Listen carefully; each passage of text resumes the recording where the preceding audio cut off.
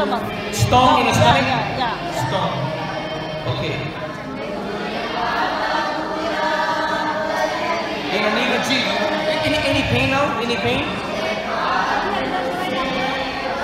Yeah, yeah, she has pain now. Okay. Translate. Yeah. Pain, leave. Stone, melt. Right now. In Jesus' name.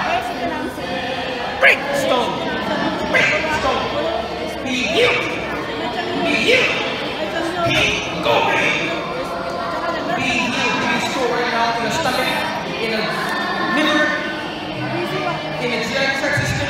Be healed.